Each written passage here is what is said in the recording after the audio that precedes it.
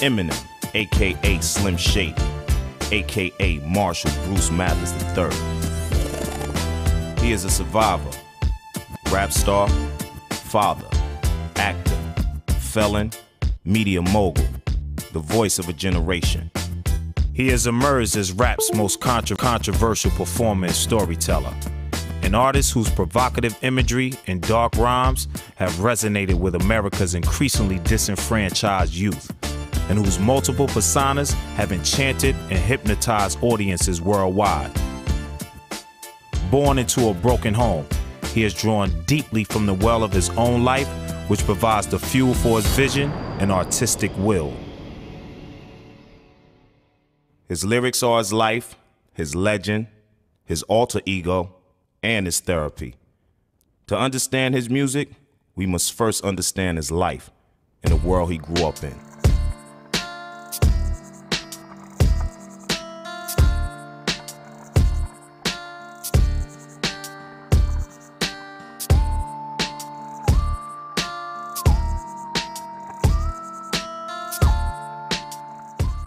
I was born in Highland, Kansas, and my mother left my father when I was probably about nine months old and brought me to St. Joseph, Missouri, and left me with my abusive alcoholic grandmother. St. Joseph's, Missouri is a quiet working class town. It is a town Marshall's grandmother Betty grew up in, a town his mother Debbie grew up in. A place tarnished with the effects of alcoholism, abuse, and instability. The challenges in Marshall's family life would be set in motion long before his birth. The residual effects of generations of abuse was passed on by his great grandmother even as she lay dying. She died a hell of a death at 93, and I was so glad. And she called for me on her deathbed, and I told her, I said, You know, I'm glad you're dying. And she says, Can you forgive me? And I says, No, I can't forgive you. The way you beat and abused a little child, a little child, an innocent child. I said, You know, you're going to hell, don't you? And she looked up at me, and I said, God help you. Despite the years of abuse, Betty dreamt of a better life. Well, as a young girl, I wanted to just be a mother. I wanted a great big family, you know. I was going to uh, have this house with a white picket fence, like everybody has, women. and uh, I was just going to be so good to my children, bake for them, and, you know, just love them to death. But when everything went wrong, and I married Mr. Nelson, I was 14. Soon after a young marriage, Betty gave birth to the first of several children, Debbie, Marshall's mother. Oh, Debbie was so tiny, I was embarrassed. I was being so young, I had a hard labor, and my daughter weighed probably about four pounds. If you were to do a drawing of the Mathers Nelson family relations are like, we look like cats in a bag. This is a clan. It's hard scrabble, country folk who are close to each other, except when they're fighting each other. She could not wait to have a baby brother. Not long after a baby brother arrived, Betty realized Debbie was unwilling to share the attention of her mother.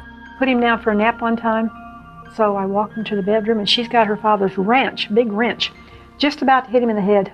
I had to watch Debbie from then on continuously. Betty's marriage ended and the children had a succession of would be stepfathers. I cannot remember a time ever when there was not a man in the house. I never really got close to my stepdads. They were pretty much alcoholics. There was a lot, a lot of drama, you know, growing up in our family. There was a lot of police called. I was sexually assaulted by my one stepdad when I was 12. He didn't get the job complete because he was arrested. I remember my mother coming home and the police taking him out and her telling me, You better hope I can get him out of jail. I don't believe you. And I ran away. It's like, I'm not facing him if you get him out of jail. I'm not telling him I'm sorry because I'm not sorry because of something he did. She wanted to get out of the house so bad. Debbie, Debbie just was tired. Debbie searched for a way out. One day she thought she finally found it in a quiet boy who lived on her block and played in a local band. Marshall Bruce Mathers II. I met Bruce, and he was my knight in shining armor. Not even when I was 14. Debbie comes in from school about, she says, Bruce and I are getting married. Tell her, Bruce. Yeah, he says, I love Debbie and Debbie loves me, and we're getting married. Debbie and Marshall Bruce Mathers II were married in 1970. a marriage Debbie hoped would take her away from the troubles of home. It wasn't that I didn't want to be around my brothers and sisters anymore. It's just I wanted my own life. I wanted my own child. And I wanted to get away from all that. And next thing I know, she finally got pregnant. I was pregnant with Ronnie when she got pregnant. On October 17, 1972, Debbie gave birth to Marshall Bruce Mathers III. It was just in heaven. I mean, it's like this is a child, you know, that's going to have everything. He's not going to want for anything. He's going to be so sheltered, so loved, so protected. Going to be the best mother in the world. And I made a promise with God. The alcohol, the drugs, the drinking, the pot, all any of that stuff, they would never go through that. The fighting, none of it. Finally happy with her own family, Debbie left for North Dakota, where Bruce would take over his father's job in a hotel. The couple made their home in the basement of Bruce's parents' house. Debbie said that things began to get bad. She'd go down to the coffee shop of the hotel, and Bruce would be playing around with the girls. Naturally, she'd be jealous. He'd tell her to take the kid and go home. She had a lot of lonely time on her hands. And then he began to beat the heck out of her. Marshall Bruce Mathers II was a knife thrower. He threw knives. He used to always like to see how close he could get to your foot without hitting it. And I remember her calling me and saying that um, she's coming home. She left uh, on a train when he was maybe one or two years old and just, she says he took the clothes he was wearing, they got on a train, they headed for St. Joe. And I think that was sort of the beginning of what was going to be many, many moves throughout his life. Debbie, running again from abuse and the effects of alcoholism, left Bruce and returned home to St. Joseph with Marshall. And his dad never wanted anything to do with him. Uh, Marshall tried to contact him. Debbie tried to contact him. He went to California and never was seen again. Bruce Mathers then disappeared from his son's life forever. Like Betty, his grandmother, and Debbie, his mother, Marshall now was caught in the same cycle of parental abandonment. Marshall would never know his father, but he would never forget him.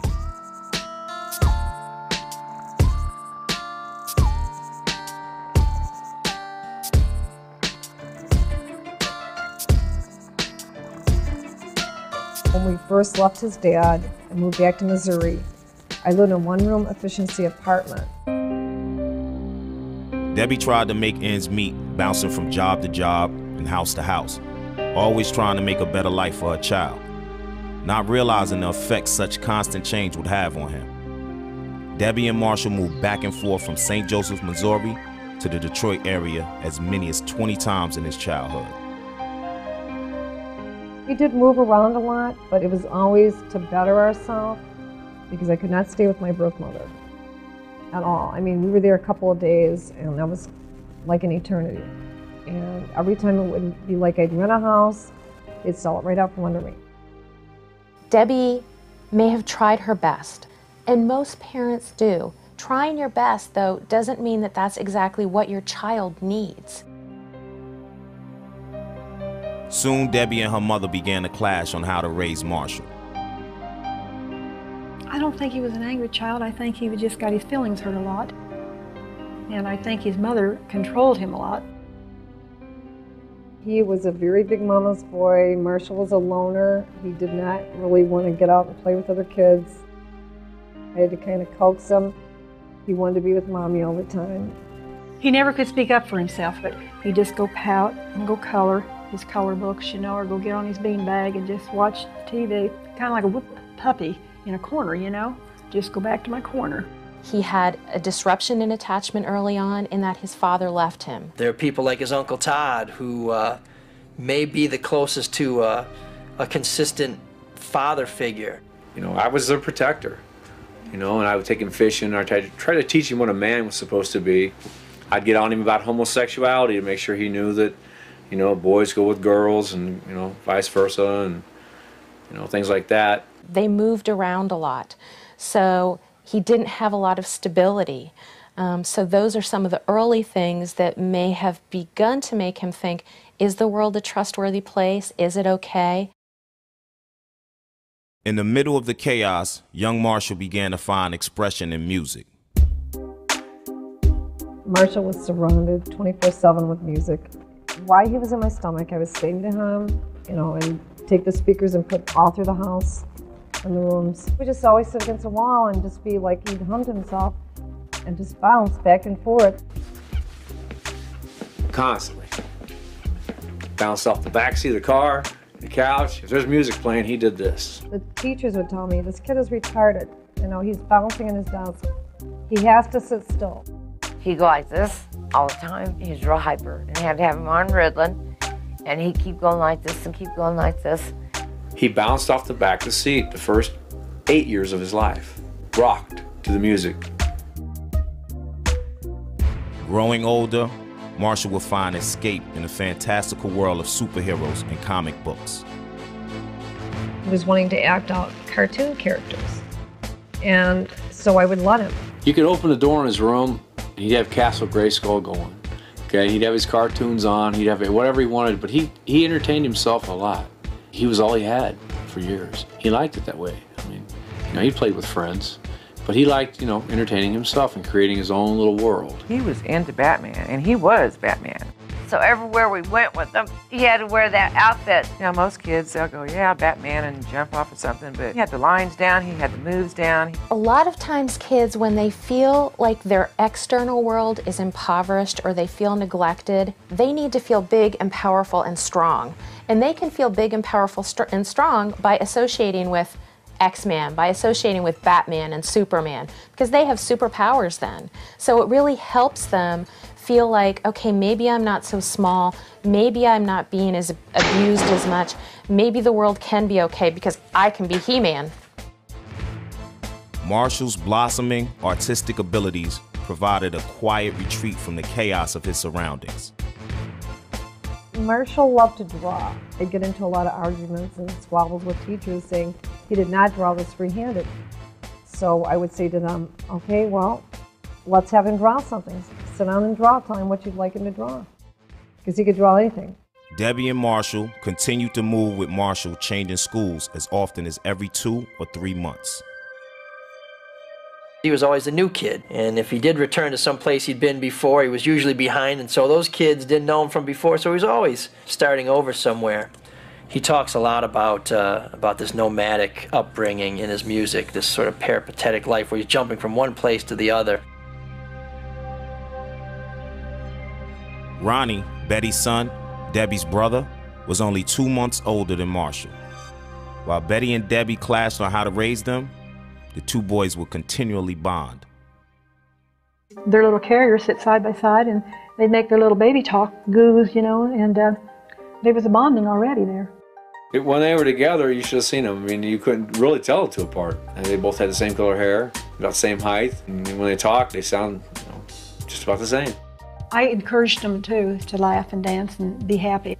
The two of them are quite a team. Did not want my mother around Marshall. And that was just me. I had to be there. Marshall had been told so many lies. I didn't trust her around him, and the dysfunction, the yelling, the screaming, the fighting, the drinking that my stepdads could have been doing, I didn't want him subjected to it. We didn't get too much time together as they started getting older. Debbie, we kept pulling Marshall to Michigan and Ronnie to Missouri.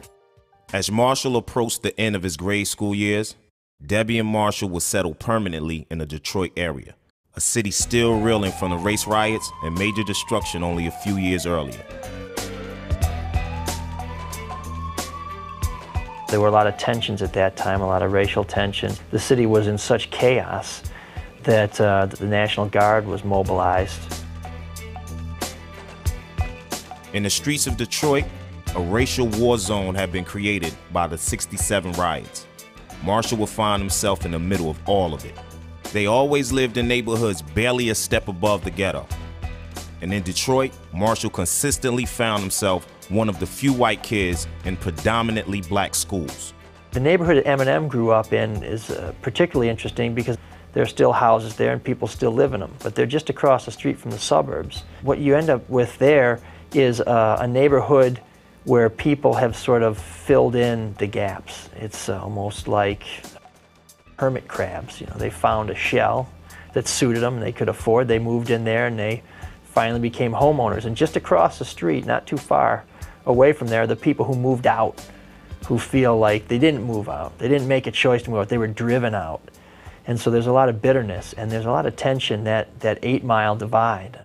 As a 9-year-old at Dort Elementary in Roseville, Michigan, Marshall was bullied for months by an older student named D'Angelo Bailey. These beatings came to a head in January 1982 when Bailey cornered Marshall in a restroom and floored him with a snowball packed with a heavy object. No one reported him missing from class, and he was found unconscious and bleeding hours later. It was a nightmare. When my son did not come out of the school, and the school denied it, they do that. And they denied anything about my baby laying in a pool of blood in the bathroom, and I found him laying there and running out to my van with him, you know, the teachers and principals. You know, well, we had a skeletal crew. We didn't notice him missing. No one knew how long he'd been there.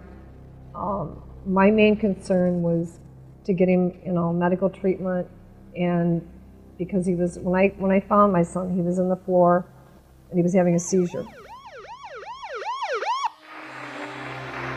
The attack left Marshall in a coma for 10 days. I went in and begged God to spare my son. I was an only child, and told him if there was anything ever I did wrong in my life, to take me, not my child. They told me they gave up on my son. Four doctors, or four in four days, 21 doctors.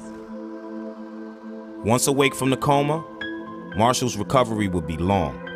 Having to relearn all his basic motor functions, he also suffered from headaches, loss of vision and hearing, nightmares, and nausea. My medical bills were in excess of over 150,000.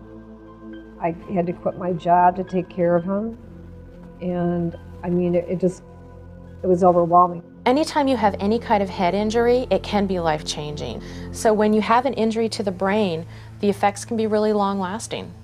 I had a patient many years ago who had a head injury, was meek and mild before, turned very angry and aggressive afterwards. It took a year for Marshall to bounce back. I had to work with him every day, teaching him how to tie his shoes. He had become almost like um, an infant. With the medications I had him on, the Depakine and Dilantin, low pressure, I did not, when I give him the medication, I seen a zombie and I did not want him zombied out. I didn't believe in it, so the medication was going to go.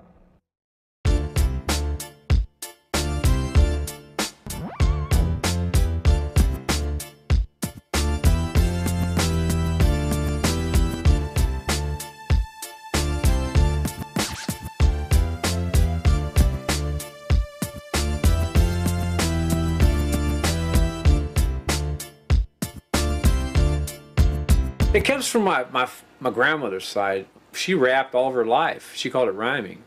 And she said when she was a little girl in Alabama growing up, she remembers her mama working in the fields, cotton fields. You know, whites worked right alongside the blacks in the cotton fields. And they used to rhyme songs and make up things as they went to pass the time. Marshall's father was in the band, and then when we went back to Williston, uh, he was in a band somewhat at the State Line Club.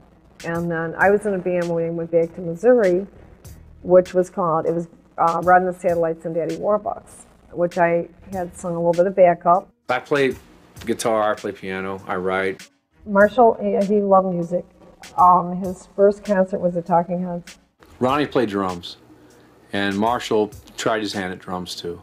Ronnie was artistic, but not near like my grandson Marshall. Ronnie was always, I mean, when he was little, I got him toy drums and little boom box, they call them, and uh, he'd turn it up full blast, and boy, he'd just dance all the time. Eminem's uncle Ronnie, who was about the same age as Eminem, is given a lot of credit for for sort of infecting him with the rap bug. In 1981, Ronnie played a song for Marshall that would change his life. It was Reckless, a song featuring Ice T from the soundtrack to the movie Breakin'. It was the first rap song Marshall heard. He took the tape from his uncle Ronnie and played it over and over and over. He started breakdancing in Lebanon, Missouri, and had me hold a sign up that he made, a great big cardboard sign around my neck, and it said breakdancing, 25 cents to watch. And I mean, this kid could spin on his head for hours. It's like, you know, you gotta wear your head out. I can remember him sitting in his room for hours. Basically, he'd sit up there and play the same beats over and over and over and write. He would wake me up like at 3 o'clock and I went, Mom, is this a word? Does this rhyme? He's like, just please help me find it. So we get the dictionary out. Yes, it's a word. You know, and what's the definition of it? And him and my brother Ronnie would do stupid tapes together and act, you know, like they were performing in front of people. So when he got into music, it was like his natural sense of rhythm came right into his play with his stuff. The two of them, I can just see them. Here would become Ronnie with the speaker from this side and Marshall from this side meeting in the front. They were going to be big singers and rappers, the two of them. They were going to go far away and they were going to be in movie pictures with the rapping and singing. I mean, I can just, I just see them and sometimes I see them and, you know, it's wonderful and other times I break down and cry. Marshall's Ice-T influence would need to stay strong to pull him through some serious life changes.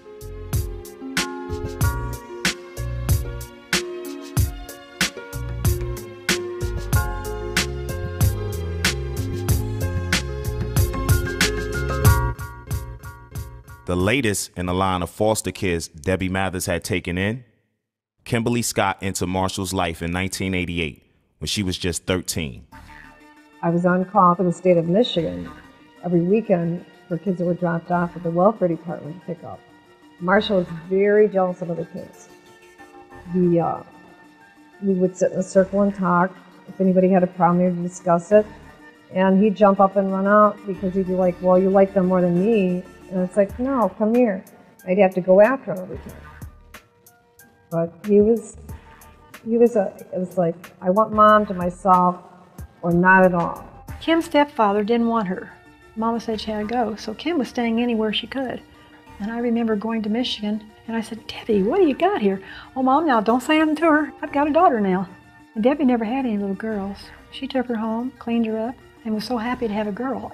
Kim soon settled into the Mathers household, with Debbie doting on her every move. Kim was very spoiled too because I always wanted a daughter. It was tough trying to juggle everything around. I tried to give Kim as much as every, as much as Marshall or anybody else. She was very insecure and she'd been through a lot when she was younger. She did not know her real father. Kim was uh, real tight-lipped, didn't have much to say. Kim became jealous. Whenever Debbie would be on the couch, Kim would have to crawl in between you. They fought like brother and sisters. You'd never believe that they was ever going to become intimately, you know, get together. When you went up to Marshall's room, he had the whole upstairs to himself. They were always, you know, in resting together. Okay, I thought Marshall wasn't doing too bad in the beginning, you know. She was kind of cute. Debbie said one day she came home and uh, they were playing around, so she ordered Kim out. And Marshall said, I'm going too. So they left. They walked out on Debbie, and Debbie couldn't stand that. And then they're like, we're boyfriend and girlfriend now. And, you know, Kim told me, haha, all the time we were, and you just didn't even know it. But I don't believe that. She helped him in the beginning establish his manhood and, and know who he was. And Debbie was jealous of the relationship. She tried to break him up a lot of times, and it worked. They would fight. Then, when the minute they got in a fight, Debbie would add fuel to that flame. She solved a lot of problems when it got way out of hand. Oh no, Debbie didn't want that, but you know she wanted just enough to keep Kim away, so she had Marshall all to herself. He got kicked out of his mom's. He came and started sleeping at our house, couch surfing. When he first moved in, his mom had this big green boat. He could hear it like coming halfway down the street, and he'd be like, Rack, rack, rack. If my mom comes up to the door, I don't live here. Why don't you want to talk to your mom? mom your mom? And he's like, oh, she's screwed up, blah blah. She'd come driving by real slow. He'd be up in the the visor, peeking out, looking out, like like what is she doing? And she'd come up to the door. Is Marshall live here? And we were like, no, who, Marshall? Byron Williams is Eminem's former bodyguard and friend. Kim is his mother reincarnated. That's his mother all over again, man. The mental abuse he took from her, all the hitting, you know, she would hit him. I watch her take her high heels off and beat the kid in the head with her shoes. I mean, and he didn't want to hit her back, so he'd punch his car or punch me. She has the potential to be a nice person, man. I just haven't seen that side of her yet, you know, but uh, she shoved me twice. Every day, if they didn't fight, it wasn't normal, you know. It was like they constantly were at each other's backs. A lot of times she was very moody. Um, you know, wouldn't let him do a lot of things and stuff. And um, like I said, she, whenever he'd have something big going on, she'd screw it up. They were probably like, I don't know, Dr. Jekyll meets Mr. Hyde relationship, you know. It could churn quick and it could ride out. She's also sort of uh, uh, like home for him. She knew him when nobody else did. When he was suffering, when he was trying to trying to climb, when he was just not sure that it was worth it. I'm in my room getting ready to go to bed, and uh, Kim comes over. I hear him out in the kitchen, and they're yelling at each other. And all of a sudden, I hear chairs moving on the floor, and sounds like they're going at it. And I'm like thinking to myself, oh my God, what's going on? You know, so I jump out of my room and she's just beating on him. He's not swinging, you know, I'm just like in total shock. Oh my God, you know, she's beating him up. Living a life with repeated violence and abuse, Marshall will continue to be tested.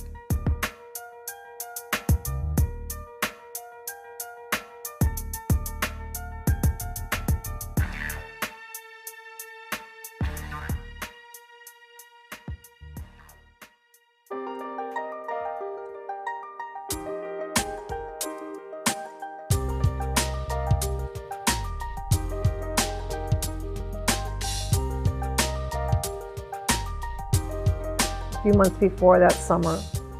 And my little brother looked at me and said, Sis, look what I have. And I'm thinking, well, this is nice because he opens the closet and shows me all these clothes. And he turns to me and says, This is material. You know what I'm missing? And I said, What, honey? He said, Love. I have no love. There's no love here. Bud. This is Ron Polkinghorn. Well, life's hard, bud. On December 14th, 1991, Ronnie Polkinghorn killed himself with a gunshot to the head. Ronnie was despondent over a breakup with a girlfriend. Distraught over Ronnie's death, Marshall did not attend his funeral. Betty videotaped her son's funeral and mailed a copy to Marshall. The bitter feud between Betty and her daughter still confuses what the possible intention of the tape may have been. He's really been bitter about that.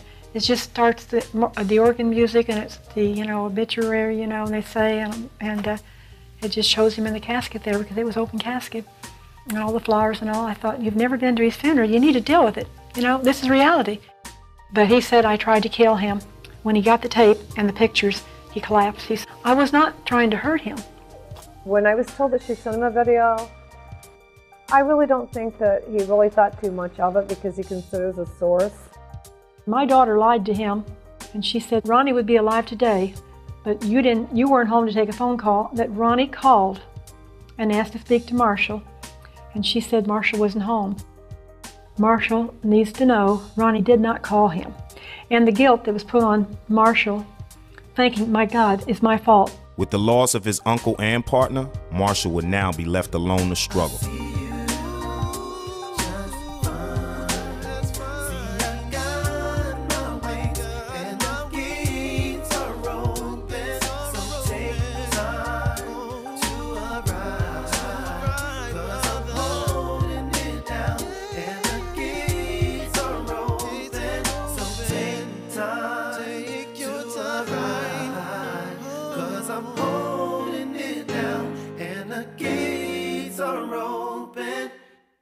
Performance in school would make his chances for success even tougher. He flunked the ninth grade three times. Debbie was, you know, Marshall, what are you going to do? What are you going to do for a living? She was really concerned for him because had, who did he have? No one. She was scared for the kid's future. Undeterred by his mother's concerns, Marshall would begin focusing intently on his and Ronnie's dream and develop his skills as a rap artist. At the time, rap lyrics proclaimed an anti authority message of racial politics and the realities of life in the ghetto. Early rap artists such as Public Enemy, Ice T, and NWA were beginning to influence and inspire Marshall and his crew. Eminem had decided that he wanted to be a rapper, but uh, as a white rapper, I mean, he really had no role model. There was really nobody else out there. Marshall began making tapes in the basement of his mother's house with Deshaun Holton, a Lincoln High School classmate who called himself Proof. And he did not meet Proof till he was around probably 18, 17 or 18. Proof was very, very respectful, very polite. Miss Mathers, do you need me to do anything for you?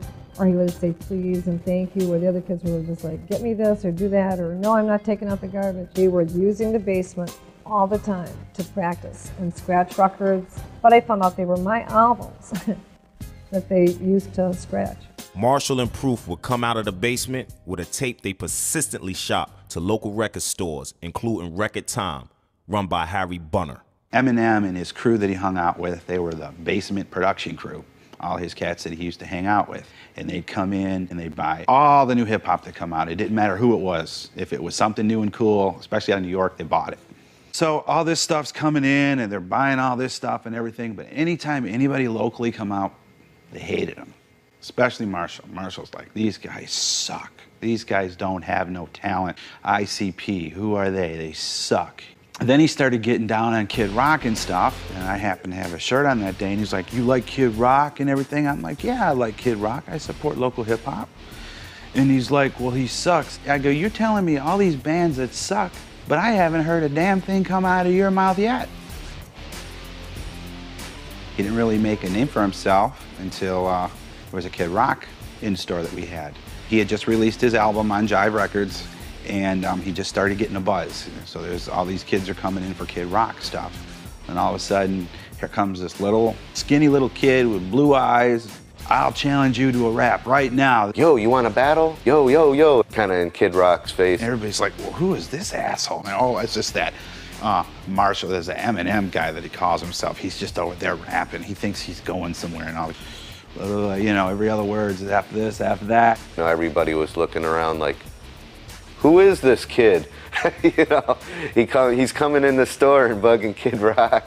You know, you want to battle? Is like Kid Rock don't battle. You know, Kid Rock's like you know, got his own thing going on. He was really cool about it, and he said, "Listen," he goes, "Today is my day.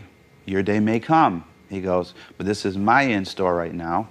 Um, I've heard some of your stuff, and you go way too fast. You need to enunciate. When you enunciate, people understand you." then maybe you can have an in-store like me.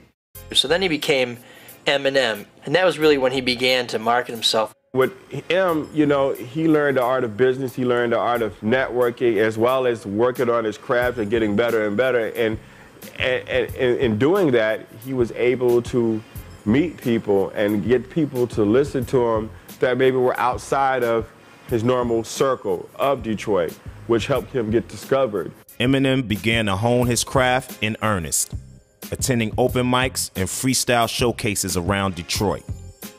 However, the greatest test of his young life would soon arrive. Kim got pregnant. He came in and he was like, wow, man, I just found out that Kim's pregnant and I'm gonna be a dad, you know, and how am I gonna get a house? I got this job, barely pays enough. Haley Jade Scott was born Christmas Day, December 25th, 1995. I know after Haley was born and everything just seemed like it went uh, hot and high water, the baby was used as a weapon, you know, against Marshall. But instead of following the actions of his father and grandfather, Haley's birth brought a new sense of focus and determination to Eminem. He was going to succeed where his family had failed. Marshall loved his daughter. He stepped up to the plate and I mean, he, he did take care of his daughter. Eminem viewed fatherhood as a blessing. He threw himself into providing for his family while polishing his rap skills.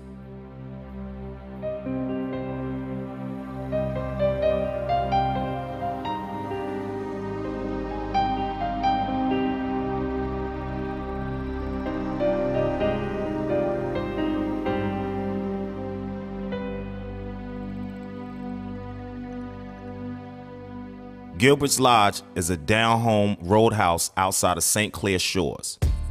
Marshall worked at Gilbert's on and off for three years. Gilbert's Lodge was probably Eminem's mainstay for a while. I mean, that was his steady gig. When, uh, when the tapes weren't selling, when people weren't coming to his gigs, Um, he could always count on going back to Gilbert's Lodge and flipping burgers, and from what I'm told, he was a pretty good short order cook. He would quit there, go to a, a new job for like two weeks, and then go back to Gilbert's, then quit again, do another job, and then go back to Gilbert's. Working double shifts for minimum wage, Gilbert's became more home than home. When Marshall first started working at Gilbert's, he used to wear those really baggy, baggy pants. And I'm looking at him going, man, pull those pants up, buddy. How can you work and not trip over them?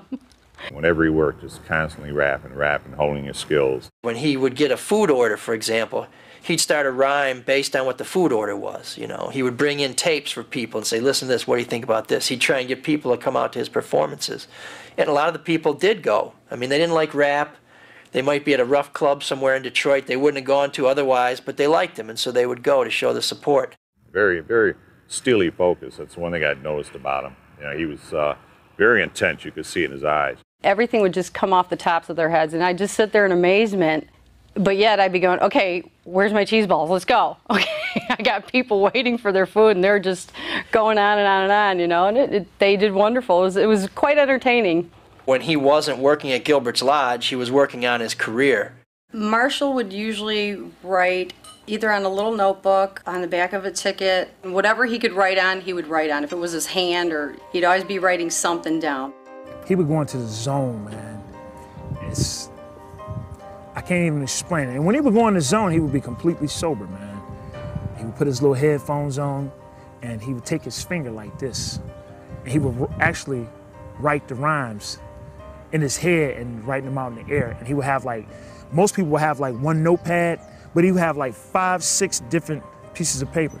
It's almost like he sees the world uh, in a hall of mirrors, and he takes those distorted images and he puts them in his music. There was no school of hip hop where you could walk in and they, you know, you got to do it like this. He would take a whole page, front and back, with just small writing. I mean, you'd have to get a magnifying glass to actually see what he was writing because he'd write so small. He would write all these words in like three columns, and it would go down. All these words would rhyme, and all the words that didn't completely rhyme with them, but he could make them rhyme, he would write them in the next column. And he would go in and pick each one of these words and like match them up. And it's like decoding it. He'd sit down at the table with a track that he liked. He'd play it through and rewind, bzzz, rewind again, keep writing, keep writing. He'll go in the booth and he'll sit there and he'll write and he'll listen to it and he'll have the sounds just blaring. And it's pretty much like the same sample over and over and over until he get it completely written. He's going around the hip hop shops, all these other places. He's getting into these battles downtown. I, I walk out of the step off the steps of St. Andrews, and it's an alleyway in between St. Andrews and this other club. And there was a big circle out there. I'm like, oh man, they about to fight. And then I'm like, I'll get closer to the circle. I'm like, nah, oh, they got a battle going on, you know. To establish his reputation as a rapper, Eminem began participating in rap battles at various Detroit hip hop clubs. St. Andrews Hall is a converted church and a popular hip hop club in downtown Detroit. The basement is called The Shelter, one of the most important proving grounds in the city. Being in the shelter is like being in the basement of your mom's house and you having a big block party. Everybody that comes in knows everybody. Music is pumping, and the MCs are up there rapping, and everybody is attentive to what they're saying, hanging on every word that they said. Eminem would now have to bear out his talents in front of all black audiences. Like the song Lose Yourself from the 8 Mile soundtrack, the stage at St. Andrews gave Eminem his first shot. Even when M would go up there and you always have the people who just like didn't get into him, you still had the other people that really got into him. He really had no role model. There was really nobody else out there. And in Detroit at the time, there was a place called the Hip Hop Shop. Saturdays at the Hip Hop Shop, I think they started around 12 noon, uh, and um, Proof would usually host, and DJ Head would usually spin the records.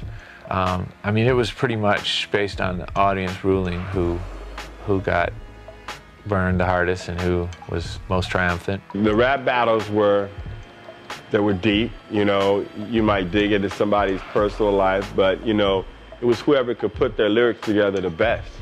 You know, and week after week, you could tell when somebody went home and they were practicing and they lived and breathed it. That's the thing about, you know, going to the rap battles. The guys that were rapping were just some guys who decided yesterday that they want to rap and they decided they were going to write some stuff. No, these guys lived and breathed hip hop.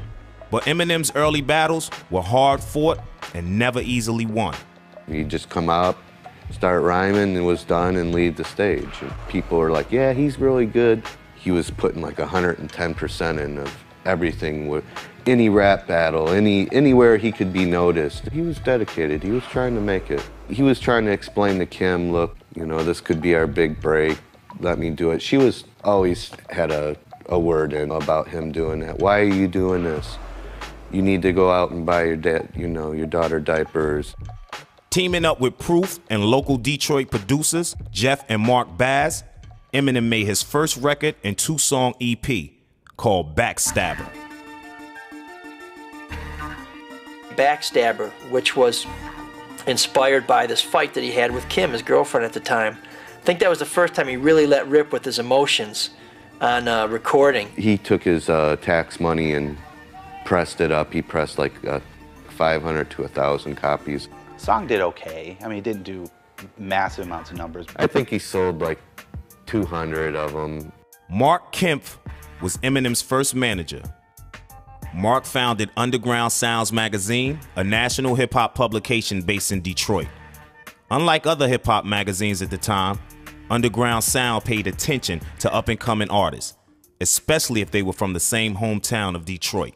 My original meeting with Eminem was a phone conversation. He called, asked me how does he submit his tape. He's he likes the magazine. He's interested in getting some type of coverage in the magazine. He sent in a tape. I liked it. I reviewed it. You could hear that there was some talent here. You could just hear it. That something's got to happen here. It's just too good not to happen. Nothing happened. He said a lot of people took him as a joke, and he went through a lot of reverse racism. And Proof kind of gave him pretty much the ghetto pass. When he first put the tapes out, you know, people were like, eh, you know, not really feeling it. You didn't even finish school, now you want to rap, you're going to be a white rapper. It's not going to work. You know, everybody from his school, from, you know, guys in the neighborhood, the nightclubs, people laughed at him. When he was in the suburbs, the white kids didn't want to listen to this kid singing black music.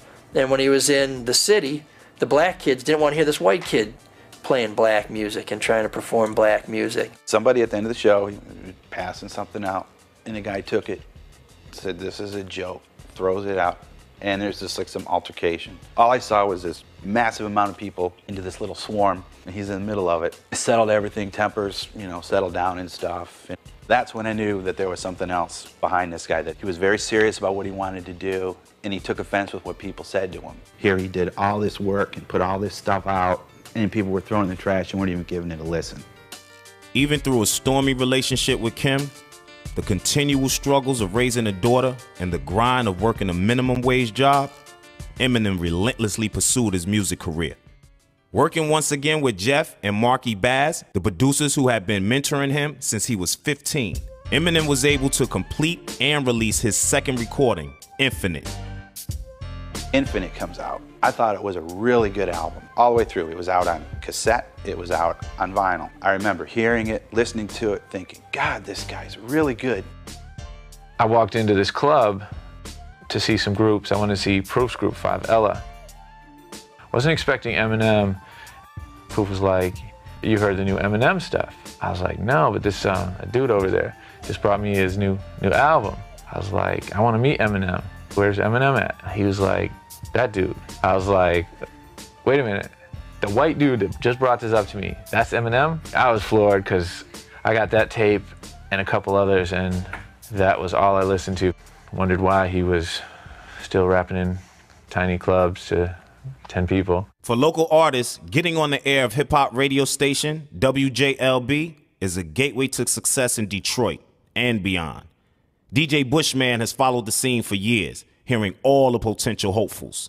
He was cool with Bushman, but Bushman didn't have the say of what went on the air. Again, there, you had to be black to be on the air, and if you weren't, then you didn't get it. You got tossed aside. Today's hit music 93.1. Eminem made another important radio connection. DJ Lisa Lisa sponsored open mic nights during her program. Eminem called persistently to audition. Lisa Lisa was impressed with his drive and lyrical expertise, so she invited him on. He became a station favorite and one of her regulars. One of the first couple of raps he did, I, I think it was that he was locked in a psycho ward or something, but it was it was almost like a joke. It was like a comedy, but then you listened to it and it had such a dark undertone. When he jumped on the mic, he turned all of that anger that he felt in the room, teasing him, into a, a strength, and he ended up winning. I just remember sitting there watching this little blonde white kid, like, you doing? How are you turning this around on these guys? For me, for him being white, I didn't care. I would listen to it. I always try to give any feedback to uh, anybody I could about their music. Though the album made people in the Detroit music scene aware of Eminem's talent and abilities, Infinite was a commercial flop. Eminem and the Bass Brothers got stuck with the bill. He was respected, but not respected. I think there was more talk behind his back. He used to come home discouraged a lot. There's days he'd be like, man, I just want to give this up. I want to forget it. I'm going to be done with it. I'm going to just keep working, do what I got to do to get by. When he realized he was going to have to work for a living, Marshall and, and my sister would compete over who had the most pills. Yeah, they would fight over who had the most, not who had the pills, who had the most pills. The black community said no to him. He was sort of the white zebra. You're not black, we don't want you here. He was out of place. This boy, he wanted to die. Recovering from the commercial failure of Infinite, the rest of Eminem's life was crumbling beneath him. He was fired from Gilbert's, he was constantly fighting with Kim, and he couldn't support his daughter Haley. He was fed up, pissed off, and at the end of his rope. In a moment of desperation, clinging to the memory of his Uncle Ronnie, Eminem tried to kill himself by swallowing a handful of pills. Out of the darkness of Eminem's suicide attempt came a renewed inspiration to find the voice he would need to succeed as an artist.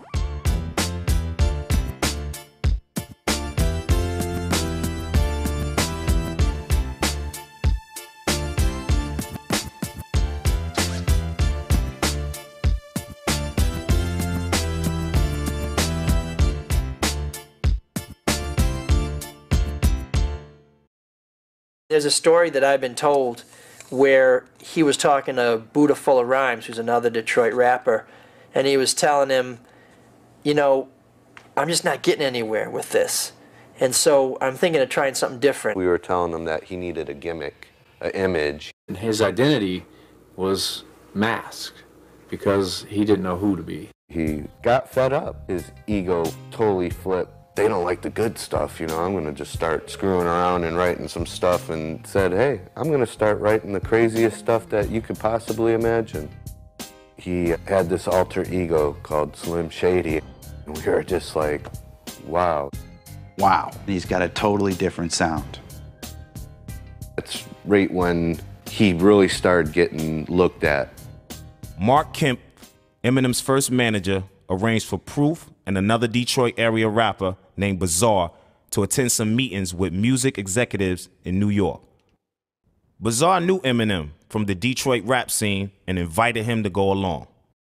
Bizarre played his stuff and Eminem played his stuff and I think Bizarre told me Eminem got a little bit better response. I remember when he called me and got my feedback on a, on a new record he was making and uh, he rapped just the two of us to me. It blew my mind. I was like, whoa. Wow. And it was uh, the Slim Shady EP. Oh my God, this is so good. Murder, murder. You know, went up to Eastland, shot a policeman. When you hear Slim Shady rapping, if you listen to his music, it's really distinctive which are the Eminem tracks and which are the Slim Shady tracks.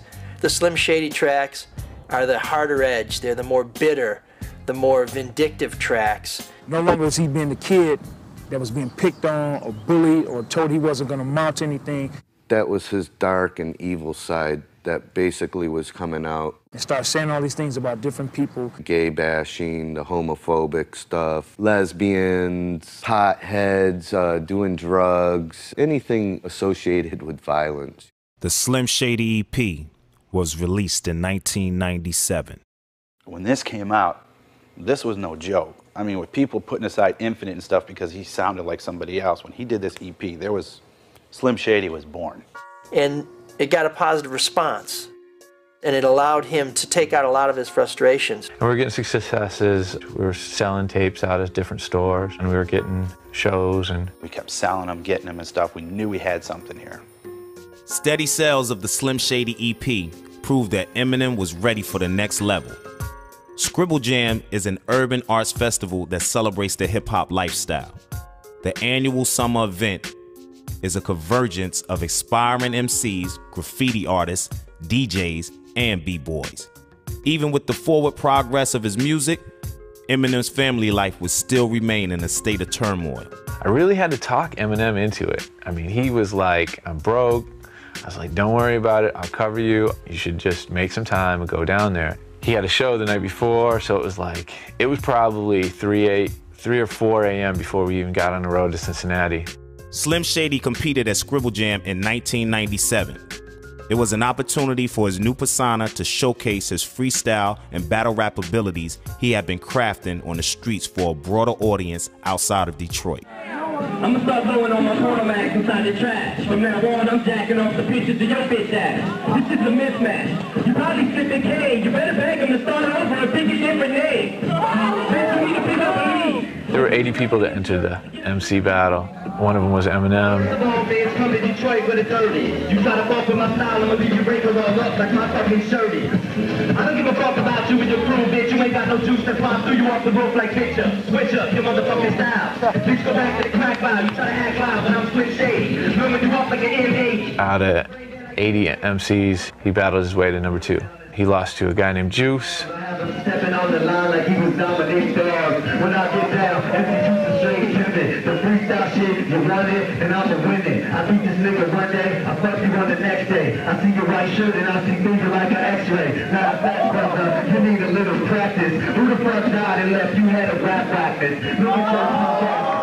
I remember him coming back and telling me that he finished in second place in Cincinnati, where they kind of had it fixed because the guy from the store won. You know, there was a few, and everybody's like, oh, that white boy won, the white boy won. And he lost to this guy, and he should have won.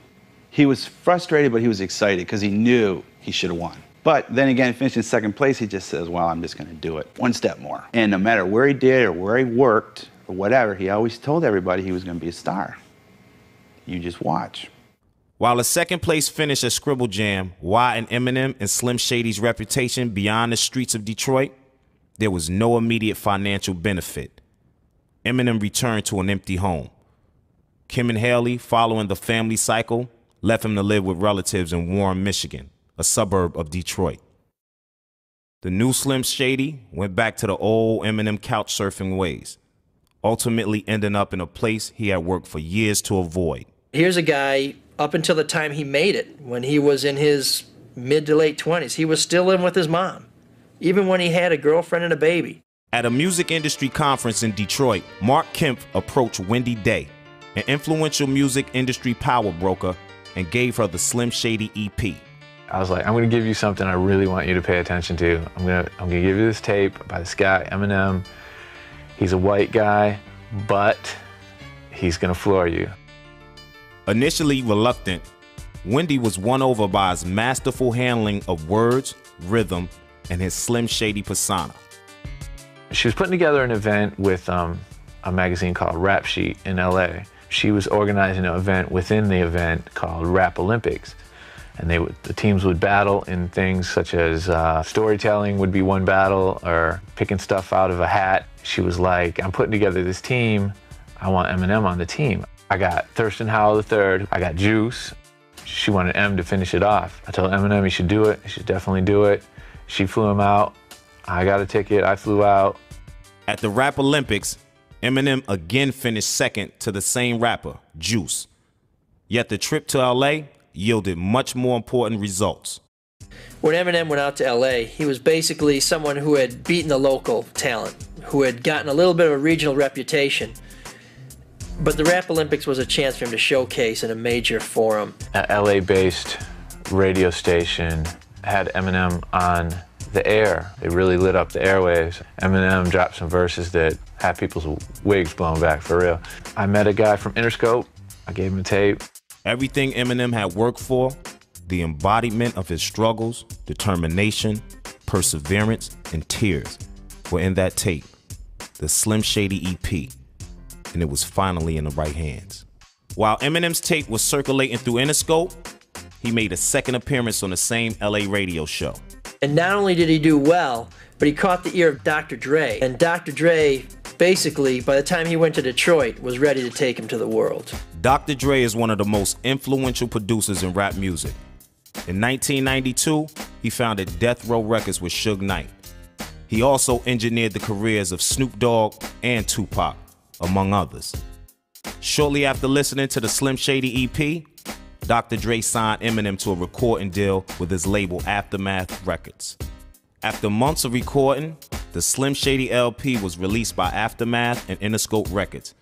The result was instantaneous. When the first single hit from his first album, Hi My Name Is, become a buzz clip song, we had an in-store and there was thousand people here. He was just signing. Finally, they come out there and they told him, they said, look, that's all you can sign. You're done. You've been here for three, four hours signing stuff. That's when you, you found out that this wasn't the guy that comes in and talks to you all the time. This is the time you find out this guy's going off and we may never see this guy again. When Eminem first started to make it was you could still see on some of the telephone poles in town or on some of the uh, some of the walls near some of the music venues, you could still see scraps of an Eminem poster. Most of those posters were put up there by Eminem himself. Eminem's fame came like a flash flood. It caught a lot of people by surprise, even Eminem himself. The Slim Shady LP debuted at number three on the Billboard charts and would go on to sell 1 million copies by the end of that year.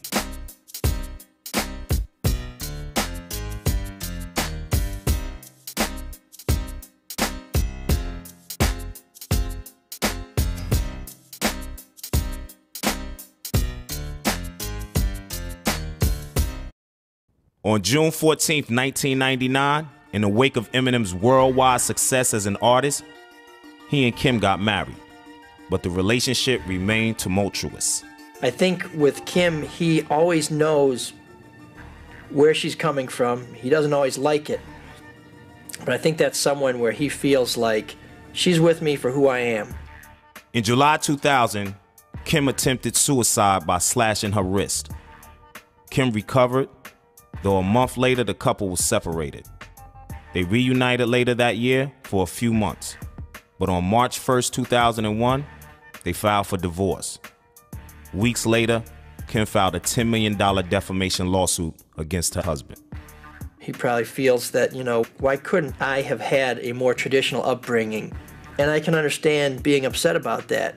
But if he had had a more traditional upbringing, we wouldn't have Eminem today. Because that is really the raw fuel for what he is. In September 1999, Debbie Mathers filed a $10 million lawsuit against her son for defamation of character.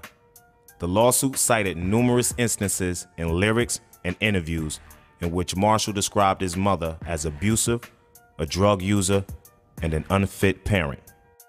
I am who I say I am, he says in his music. And he talks about his mom suing everybody. One of the first things I started to do was to check the courthouses. And lo and behold, going back 25 years, she's been suing folks. As a response to Eminem's lyrical criticisms, Debbie recorded a song called Set the Record Straight with a group called IDX. The song is available for purchase on the internet for $3. In 2002, Eminem's mother settled a $10 million defamation lawsuit against her son for only $25,000. After considerable legal costs, Debbie received only $1,600. Though Betty has been outspoken about her daughter's lawsuit against her son, she too is capitalizing on his fame. She is writing a tell all book about her daughter's relationship with the rap star. In 2003, Kim was arrested and charged with possession of over 25 grams of cocaine. Ordered to wear an electronic device, she skipped town only to be recaptured and jailed for testing positive for cocaine use. Marshall fought for joint custody of his daughter Haley and won. He continues to play a major part in her life. People are on the ins and on the outs at times with him. You know, depending on on who's feeling cranky that day, he's talking a part of the family and he's not talking to other parts and they seem to take turns. It's almost like a revolving door, but there always still seems to be a fairly strong connection to the family. Eminem has been the target of other lawsuits from more unlikely sources.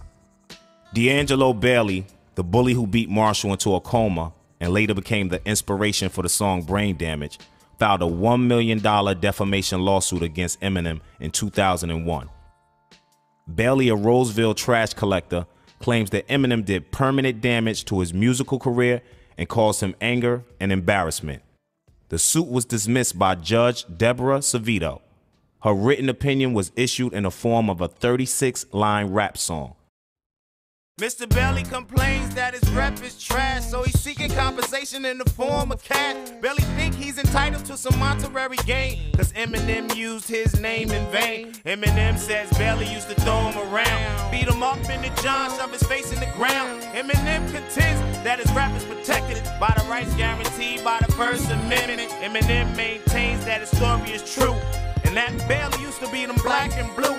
An alternative, he states that the story is phony, and a reasonable person would think it's baloney. The courts must always balance the rights of a defendant in one place in a false light. If the plaintiff presents no question of fact, to dismiss is the only acceptable act. If the language uses anything but pleasing, it must be highly objectionable to a person of reason, even if objectionable and cause an offense. Self is the first line of defense. Yet when Bailey actually spoke to the press, what do you think he didn't address?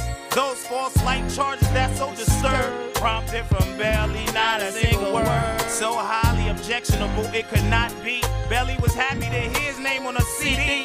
Belly also admitted he was a bully in youth, which makes what Marshall said substantially the truth. This doctrine is a defense well known and renders Bailey case substantially blown. The lyrics are stories that no one can take as fact. They're an exaggeration of a childish act. Any reasonable person can see that the lyric could only be hyperbole. It is therefore this close ultimate position that Eminem is entitled to summary disposition.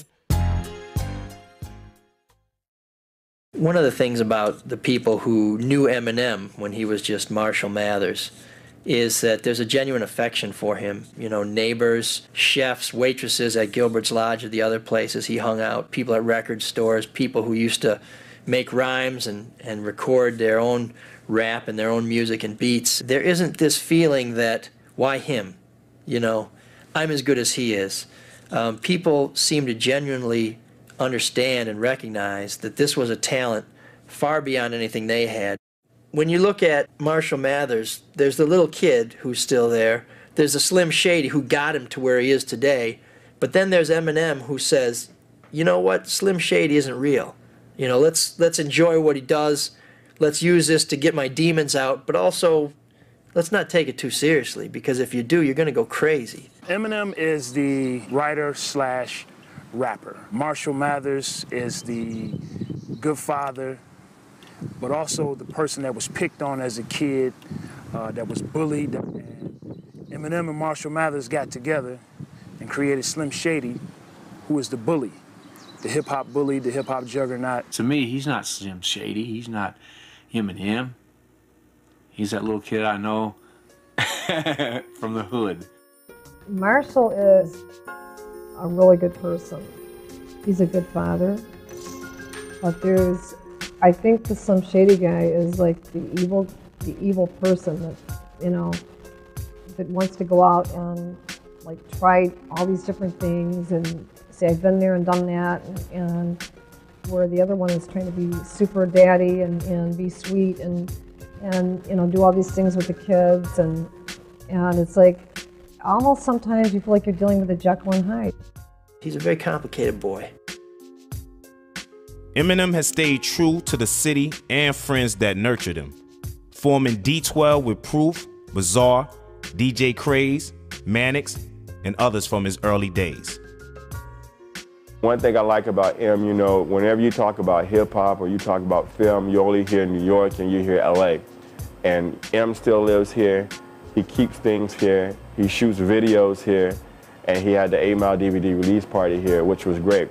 Eminem did two concerts in North America this year, and both of them were in Detroit. If you want to come see me, you got to come to Detroit.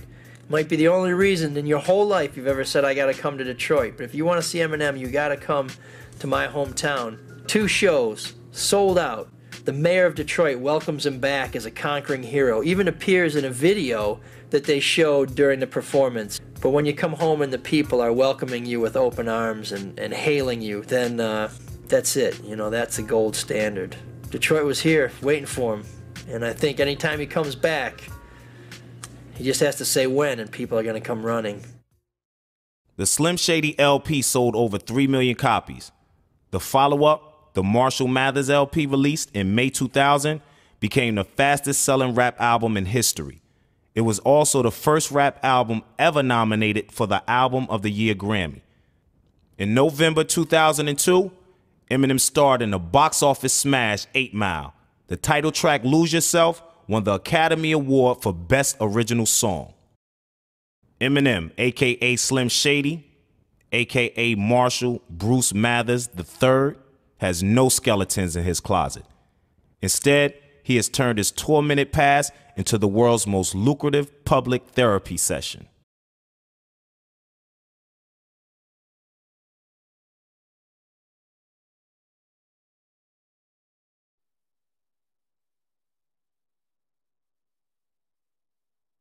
Out of the ordinary. Uh, he do crazy stuff, man. I can recall one time, you know, a lot of things that he did wasn't funny right away. When you look back, this guy's crazy, man. I remember one time we were in San Francisco where he was performing and this guy was heckling him on stage. And he stops in the middle of the show. So he starts heckling the guy back. And him and this guy's going back and forth. Next thing I know, he jumps off the stage to hit this guy, hit the wrong guy. So the whole, everybody in the whole front row just like mobs Eminem, and they're just, they're beating him down, man. They're beating him something serious, man. So I'm sitting there looking at this like, wow, they're gonna kill him. So I jump in, I jump in, I get hit. Then after I get hit, I hit the guy that hit me. I forget about Eminem. The DJ jumps in, the street team jumps in, all these people backstage jump in, and we pull him out of the crowd, get him back on stage. Now the whole crowd's about 3,500 people. Everybody want to kill us. So I'm trying to get him back. I'm trying to get him back uh, to the tour bus. So we're, we're all running. We're getting everybody to run back to the tour bus, and the tour bus, the tour manager stops and say, hey, you got to finish the show. The show must go on.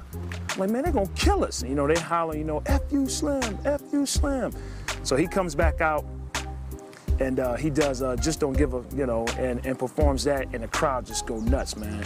But that next morning, man, everybody had black eyes, swollen jaws, busted noses, you know, and he lived for that, man. I got a call that next morning from my mom, was like, you know, don't you let the little white boy get you in trouble. I said, well, I'm gonna try to do what I can, man. It, it, I don't know how she found out, but she knew about it. You know, we just always did crazy stuff, man. Um, so unpredictable, man.